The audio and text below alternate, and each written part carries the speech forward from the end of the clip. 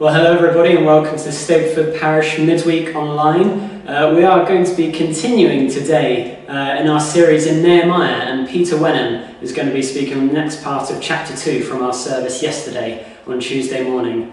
Uh, but before that, a bit of a notice about harvest, which is coming up this Sunday. Uh, if you would like to bring produce and uh, give to our food bank, uh, there are a few things that we need, and I'll tell you about those in a minute. But drop off times, if you could come to church to drop off, uh, between 10 and 12 on Saturday, the church will be open then uh, to drop off produce. And if you're coming along to our services, uh, either at 10 in the morning or 6.30 in the evening, you can drop it off then as well. Uh, but if you're not booked into one of those, uh, the church will be available for drop off from 9.30am on Sunday morning and from 6pm for the evening service um, to drop off then as well. And if you come to the Tuesday service, do bring some things along there, uh, that's absolutely fine. And then from that point afterwards, uh, drop anything that you may have picked up uh, in at the church office. Uh, but you might be thinking, what sort of things to bring or what do we need this year? Well, I can tell we've got plenty of baked beans, uh, but a few things that we really could be doing with. We could do some rice puddings, tinned potatoes, long life milk, meat paste, fruit juice, coffee, and jam. So any of those things would be very much appreciated. Uh, but before we hear from Peter Wenham, we're going to now have our opening song of praise.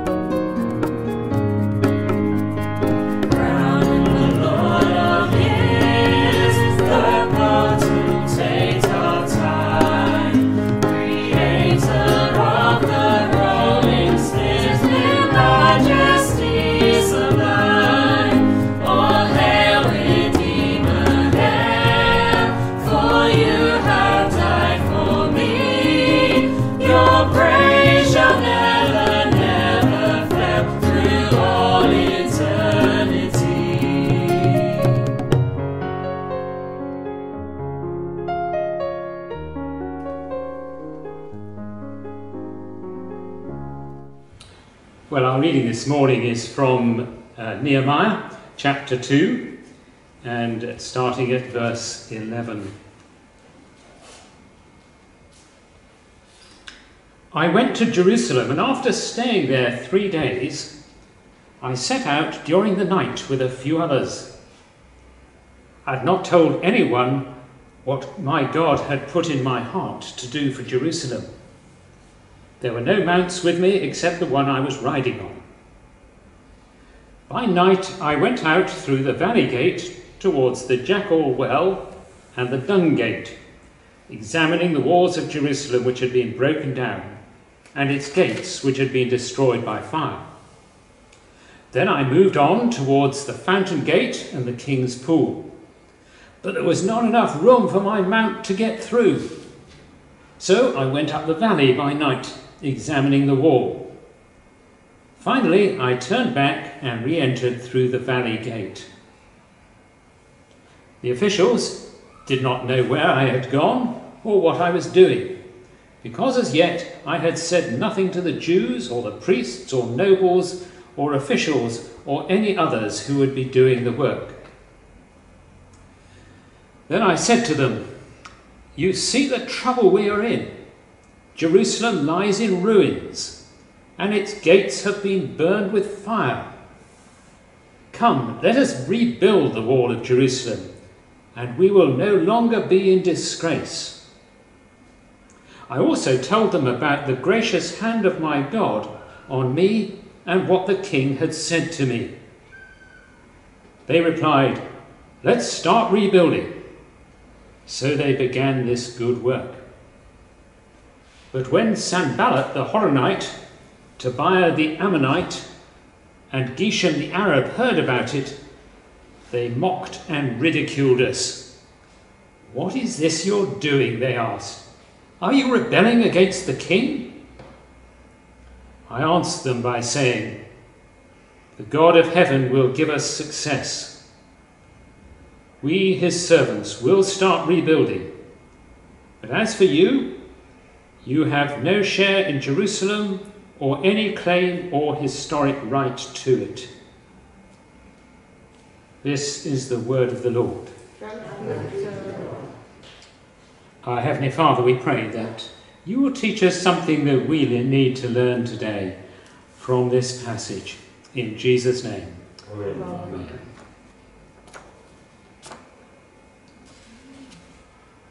That moonlit recce by Nehemiah of the walls of Jerusalem has been a favourite Bible story of mine for as long as I can remember.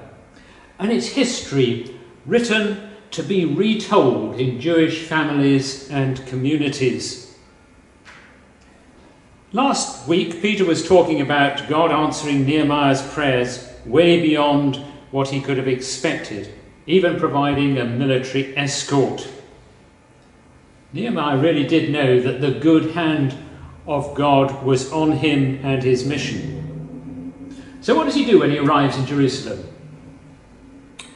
I think I might have gone straight round to the community leaders and said, hey guys, uh, guess what I've come to do? To sort out the city walls. I've got the backing of King Xerxes, the most powerful ruler in the world. We can have all the wood we need from the king's forest. This is obviously God's work. I'm so excited. Let's go for it. But what does Nehemiah do? Not a lot for three days. Though, from what we know of Nehemiah, I guess some serious fasting and prayer was going on. But then, after dark, he goes out to inspect the extent of the damage. Just him, his horse, and a few men on foot, and only the moonlight to see by. No one else knows he has gone. And it's a pretty bad picture. The walls are broken down, the gates are reduced to ashes. There is so much rubbish that Nehemiah's horse cannot negotiate it. And only after this recce does Nehemiah get everyone together to tell them what he has in mind. We all know the mess our city Jerusalem is. I've been round and I've seen how bad it is. But let's rebuild the wall of Jerusalem so that we may no longer suffer derision. As the story develops, we see the sort of things that were being said. Sanballat and Tobiah were putting about that God uh, and the city which he had chosen for his special presence were worthless and had been abandoned by God. Nehemiah was concerned about the state of the city, not because he was a signed up patriot, but because he saw that the state of Jerusalem damaged God's reputation.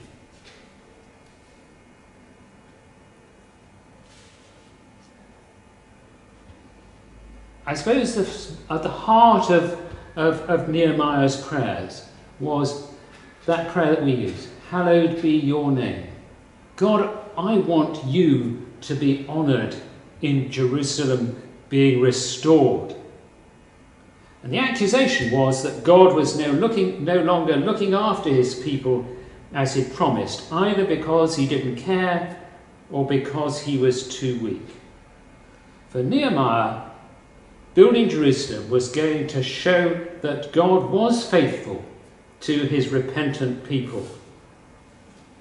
And he goes on and tells uh, the leaders of the Jews how uh, God has been working uh, in answering Nehemiah's prayers and moving the king to back the mission. And they got the message let's do it, and enthused each other with God's part in the story, and they geared themselves up to start work. The opposition have their say. They jeer at Nehemiah and threaten him that they'll tell the king that he's planning a revolt.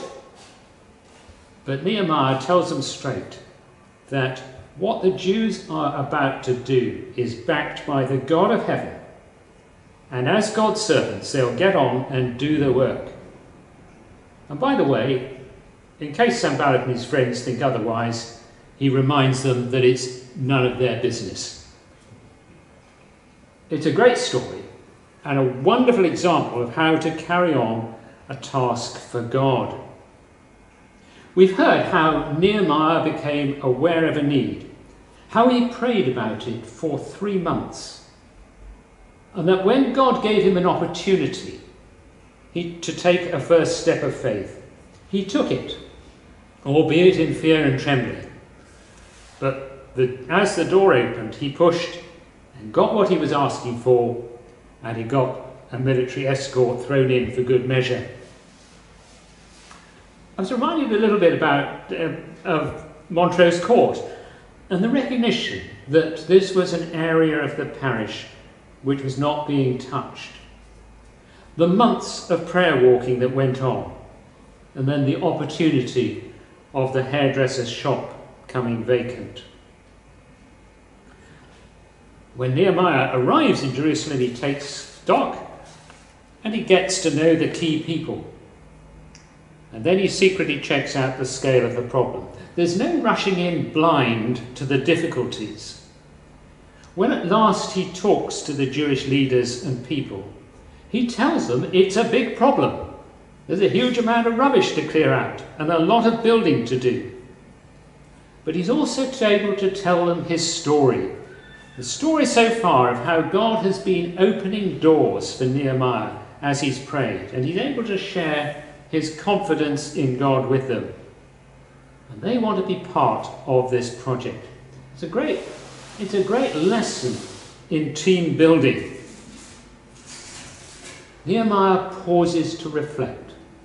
So important. Nehemiah looks at the difficulties. So important to listen to others with the gift of critical insight, to see what problems there are and make us look for God given solutions, or even that the message that we thought was from God was rushing down a blind alley. Nehemiah saw the problems in the light of his journey so far. His belief that God had been with him thus far encouraged him to make the next step, fully aware of the problems, but believing God would provide a way forward. Ours is not a blind faith, but a faith in God who has acted and will act in the future. We can apply it wherever we have decisions to make or plans to develop. Pray, reflect, be realistic about what you have in mind, remember what God has done before, and respond in obedience and faith. Amen. Thank you very much for tuning in for this midweek online. We're going to conclude our time with a final prayer. Heavenly Father, thank you for all that we've heard today. We do pray, Lord, that you would go ahead of us into the rest of our weeks and lead us by the power of your Holy Spirit. And we do ask, Lord, that everyone that we meet, everything that we do, that we would keep Jesus in the forefront of our minds, showing him to others. And we pray in his name. Amen.